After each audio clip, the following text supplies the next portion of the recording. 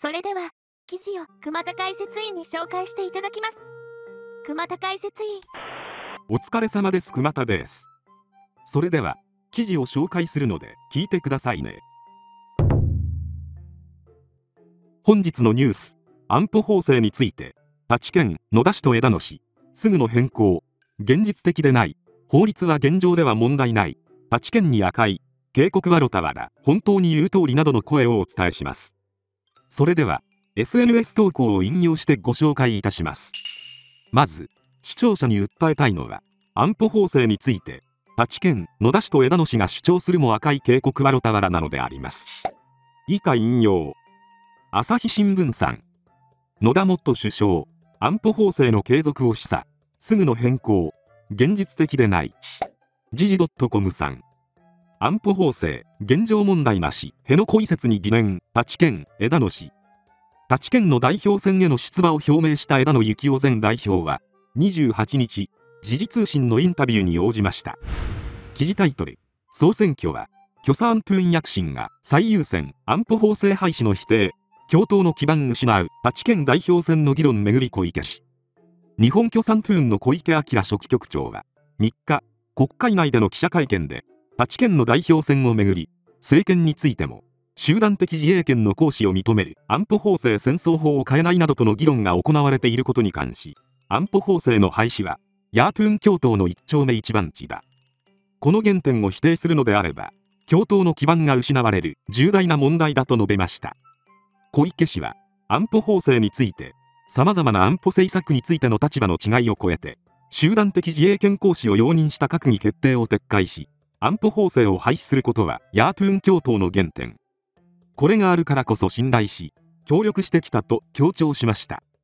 また前回総選挙での共闘が失敗であったかのような議論が一方的に行われていることについてもこれまで協力を重ねてきたことに対する誠意も敬意も感じられない議論だと思うと語りました。以下略全文はソースへ。記事タイトル「許さ案安保法制反対以上要求立県代表選候補に」略集団的自衛権行使を容認した。安全保障関連法への反対を貫くよう要求した。戦争法廃止がヤートゥーン共闘の一丁目一番地だ。否定するなら共闘基盤を失うことになるとヤートゥーン連携に影響しかねないと警告した。許さ案との選挙協力を見直すよう求める。立県内の声にも反発。2021年衆院選で許さ案は擁立済みの候補を下ろしてまで協力した。誠意も敬意も感じられない議論はいかがなものかと述べた。引用終了。全文はソースへ。許さ案との選挙協力を見直すよう求める。立県内の声にも反発。2021年衆院選で許さ案は擁立済みの候補を下ろしてまで協力した。誠意も敬意も感じられない議論はいかがなものかと述べた。とのことですが2021年の衆院選のずっとも共闘具合を見ていた Y としては日本共産トゥーンさんの言い分は理解できますね。他の動画でも言いましたけどあの選挙でずっとも効果で当選した議員がいるはずやし3年前は閣外協力まで約束して今回は協力しませんってのは日本共産トゥーンさんに対して失礼にも程があると思います。また集団的自衛権行使を容認した安全保障関連法への反対を貫くよう要求した。戦争法廃止がヤートゥーン共闘の一丁目一番地だ。否定するなら共闘基盤を失うことになるとヤートゥーン連携に影響しかねないと警告した。とのことですが日本共産トゥーンさんと距離を置くにはこれが効果的かもしれませんな。ですがいろいろ言うてますけどあの悪夢のミンスーントーン政権の関係者がまだいますし一度でも日本共産トゥーンと組んだ立県は信用できんよな。それに、枝野氏と野田氏は、安保法制を容認したようなことを言うてますけど、では、立県として、今までの散々反対して、安保法制反対の議論は何だったのか？これまでの出張は間違いだったということですよね。間違いだったのなら説明責任を果たすべきでは？今更無責任すぎて草生えんの矢が反対していたのを今度はコロッと容認するという政治的一貫性のない行動こそが立県が支持されない根源やと愛は思いますね。現状ですが枝野氏はあくまでも選挙区や地域ごとに連携を進めるべきだとの認識を強調し地域協力論を出張しています。この出張にも日本共産トゥーンは地域ごとに連携を進める考えを示したことについて強力に政党間の合意は必要だ。地域だけの合意で進めるわけにはいかないと反発している。まあ都合が良すぎますからね。本当に切るなら選挙協力をしないと宣言すべきでは。個人的な意見としてはそもそも主義出張とか防衛も経済などの政策も全く違う政党がなぜか選挙の時だけ協力する意味がわからんのよね。ヤートゥーン統一候補とかやられるとマジで地獄のような選挙区が出てきますからね。今後の立県と日本共産トゥーンの関係が気になるところですがこの話題へのネット民の反応がこちら。賛否の声。以下引用。安保法制については様々な安保政策についての立場の違いを超えて集団的自衛権行使を容認した閣議決定を撤回し安保法制を廃止することはヤートゥーン共闘の原点。これがあるからこそ信頼し協力してきた。この原点が失われるのであれば共闘の基盤が失われる。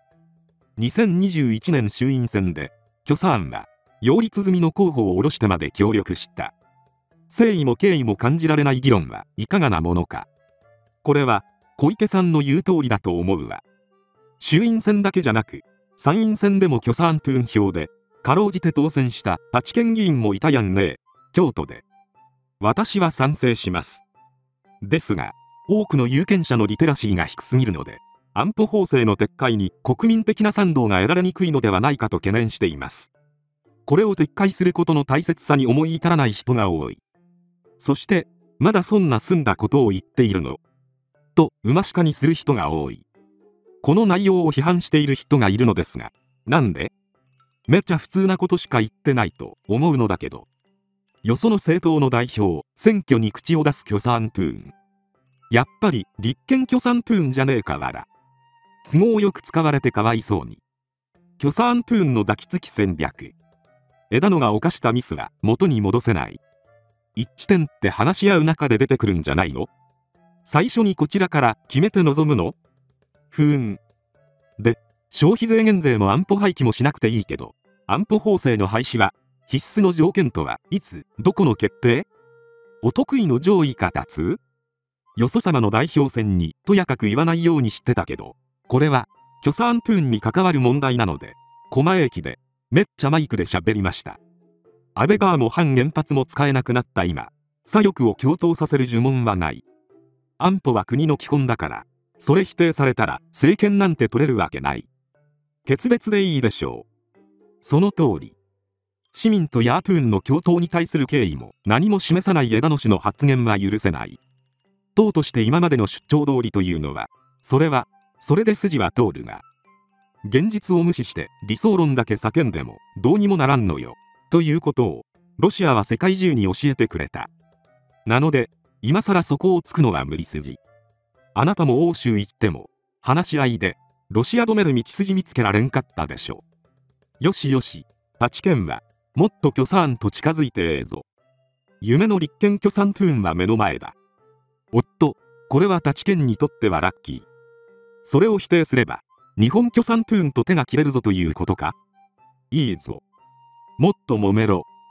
許産トゥーンの立場として当然だと思うけどそもそも今の立憲って安保法制廃止を掲げてるんですか？許産の側もそこを曖昧にししたまま共闘してきたと思う。実は枝野氏の立場安保法制自体は従来の憲法解釈でも合憲は2020年から変わっていません。この際しっかりと申し入れないとダメでは。許産トゥーンは許産トゥーンである限り許産トゥーンでしかないのだから共闘とかそもそも無理で万年ヤートゥーンやってるしかないわけで。立憲がいつまでたっても支持率上がらん原因の一つは許産トゥーンと組んでるからだと思う。立憲許産なら当然だなわらさあさあ枝野の他どうする。何のための個別政党なんですかね。ま共闘のための条件というのは分かりますよ。でもね立憲にも党としての意思決定権はありますから政策論強要で脅すのは絶対に違うと思います。今の立憲は明らかに目指す路線の違う人たちが混在している。許産トゥーンが望む候補者はおそらく今後は多数派に離れない。党をさらに割るしかない。これはもう小池晃氏の言う通りです。他知県の新代表は、安保法制を認めて、日本共産党との連携は破棄した方がいいです。引用終了。曖昧な態度を取るようだと、どんどんずっともが進んでしまいますよね。今後の他知県代表の対応が見ものである。視聴者の皆様は、この話題についてどう思いましたでしょうか？様々なご意見をコメント欄にお願いいたします。また、有権者の皆様、あらゆる選挙において与野党問わず、日本の国益、日本国民のために働いてくれる議員、政党を選んでいただきますよう、お願い申し上げます。それでは、最後までご覧いただき、ありがとうございました。